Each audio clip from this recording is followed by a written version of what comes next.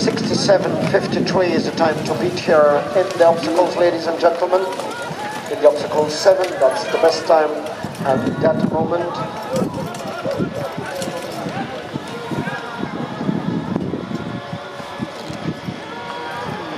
Competitor number 44 from France, Maxime Mericourt, through obstacle 4 in a time of 55.31. And also Glenn Geerts from Belgium, through that same obstacle, 50.45. Axel Olin now competing in the obstacle 7, the Land Rover above and beyond. Member of the team for Sweden, Sweden in the Nations Cup at that moment, fifth place.